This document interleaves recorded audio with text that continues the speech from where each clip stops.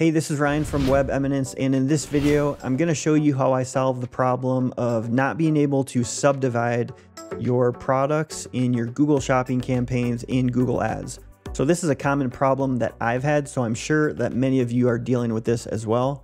I finally took the time to find a good solution for myself, and I think you're going to find it helpful. So let me show you first the problem. So this would be like in a Google shopping campaign, in a merchant center account where you have a lot of products. This account has, you know, a thousand products. So if you were to go into a shopping campaign, you click on product groups, you're probably going to see like all products here and you can see there's about a thousand products. So then the question is, how do we divide these products into these different campaigns. So this example is like a, a, phone case seller. So you can see we have like Galaxy, Galaxy S22, S23, iPad, iPhone. So those are the different divisions we're trying to create so we can create campaigns for these different, you know, types of phone cases for different product types. So if we were to look in the products and uh, you'd click edit subdivision first to get into like that edit page where you subdivide. Problem I've always had is and this depends on your client's website or your website and how it is organized and then how it's passing information to Google Merchant Center, because that's ultimately what we see here. Usually this category tab is not helpful because you can see like pretty much everything is in electronics. I'm not sure why there's pet supplies, um, but this doesn't really help me subdivide. Brand is not suit maybe a little bit more helpful, but still see I got like a bunch of Apple Watch. So I'd have to click all these if I wanted Galaxy, I'd have to click them all. Um, so this one's a little bit better, but not quite what I want. Item ID is basically, you know, the, the title, I believe. So that's not really helpful. Condition is not going to be helpful. Product type. There's just too many of those, but that might be helpful for some of you in some circumstances. If you're able to subdivide using these default or whatever you see here, that's great. It just seems like most of the time it doesn't work for me. Channel, that one doesn't work. And then we have channel exclusivity, which isn't going to work. And then custom labels.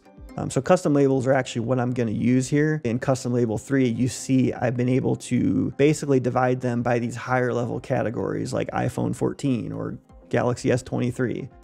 So that's what we're going to do. I'm going to show you how to do that in Merchant Center. So you have to go into your Merchant Center account. Here's the thousand products. Here's some of the data. Like here's the item ID. You can see the custom labels here that I've been able to add. I'm going to create a rule in this feed so that if certain words are found in the title, we're going to give it a custom label. So if iPhone is in it or iPhone 14, we're going to give it that label. Here you see there's iPhone tabs. If Apple Watch is in the title, I'm going to have it say Apple Watch here. And then these custom labels get passed to Google Ads, as you saw in my custom label three. And that's how I've been able to, you know, subdivide these different campaigns. And then the result would be, you know, you create the subdivision, I select iPhone, turn on that those products in this campaign or product group, and then turn off everything else. So to do this, you're gonna go into your feed. So if I click on feeds and then click my actual feed that I'm using with a thousand products, then you have to click on the feed rules tab, which is right here. Here's the rules I've created. You might not need this many. It just depends on how many different categories you're trying to create. There's different rules available, so you can read more about these. Like I'm actually using it to add colors to some products where colors don't exist. So this can help fix some errors that you're having, you know, in Merchant Center with some products, but that might be another video for another time. You're gonna click create rule. And like if you wanna use custom label, you just select the one you wanna use. I'm using three. If I were to select that, it's actually going to take me into the, the rule that I've already created. And then you click add source to create these, these different rules here. So like if I was to create a new one, like I just did a few weeks ago for Galaxy S23, I click add source and then it pops up new one right here. I'm going to create a condition.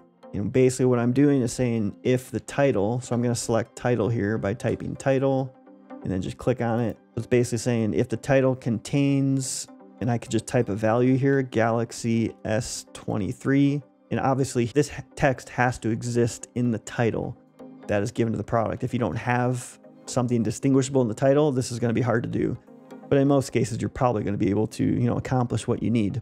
So if it contains Galaxy S23, and you could do different like and or statements here, but I'm basically going to tell it to set custom label 3 to you know some value. In my case, I'm just you know, saying Galaxy S23. just anything that I can recognize. I'm going to cancel that one because I already did it above, but you can see a bunch of them here and we'll show you the Galaxy one is right here.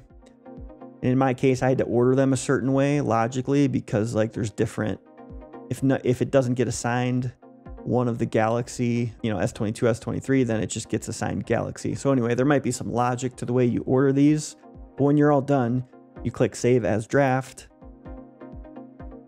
and then you're going to click apply. I'm not going to do it because I didn't I don't think I've made any changes. I'm going to discard my changes. You can also test changes, but usually I would then go to back to the feed. It might take a few minutes, but you'll see the custom label show up in your custom label column.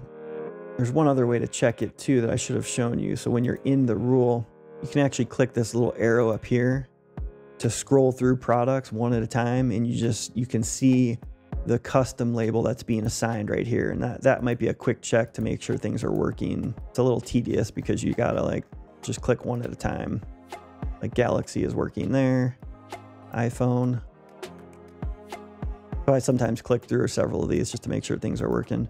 You can also search by item ID, like type in iPhone, but I've some I've had issues. It doesn't work basically, so I can't use that. So then once your feed is processed, again, you'll see in your products list, you'll start to see the label showing. In my experience, it takes some time for it to get from Google Merchant Center to Google Ads. So I usually give it 12 to 24 hours and then I check back. And then if you click on the edit subdivision, after 24 hours for sure, you should start seeing your custom label three. So then again, I would, you know, select the one I want and click save without editing bids and then it takes me into here and I, you know, you can edit bids or whatever you want to do. But basically I'm enabling that subdivision and turning off everything else. So that's it. Pretty simple tip, but pretty powerful, especially if you have thousands of products. You know, you're not going to be able to select them. This kind of does everything with a feed rule and automates the process for you. Let me know if you have any questions about that. Make sure to subscribe and check out some of my other videos on Google Ads. Yeah, comment below. Let me know what other videos you'd like to see or what questions you have and uh, maybe I'll address that on the next video.